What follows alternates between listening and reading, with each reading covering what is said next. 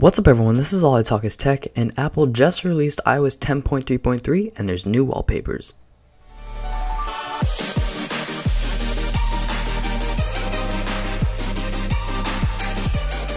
Okay, so the sad news is there's not really that many new features, but the good news is Apple finally added new wallpapers. So if you're on 10.3.3, which I am on right now, if I go to software update, you can see that I'm on 10.3.3. This is the beta, so I do have a video on how to get that. But if you go to the standard wallpaper section on your iPhone and you go and tap on the still wallpapers or any section, you're not going to see any new wallpapers. So this is only for the 12 inch iPad. So you can see here is one of the wallpapers. I really like this one. It actually kind of looks like an apple.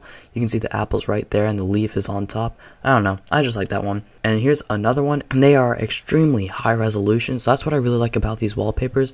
They are made for the iPads. So that's why they are a weird shape. But if you click the link in the description, you can go ahead and save these wallpapers. Here's the pink one. I personally don't like this one, but it looks good for a rose gold iPhone.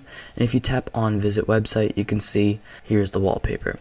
And sorry about that ring, that was my phone. I forgot to turn it off before the video.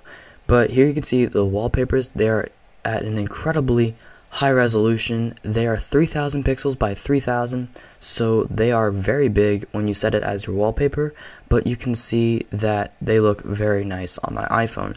So that's really all that's new. Sorry I haven't been uploading lately. I've just been incredibly busy with school and a bunch of other things that are going on.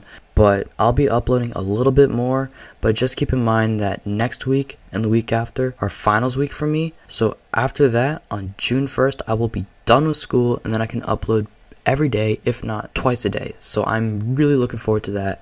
So just bear with me these next two weeks and I'll be back to uploading daily. So that's about it for today. Thank you so much for watching, and as always, peace.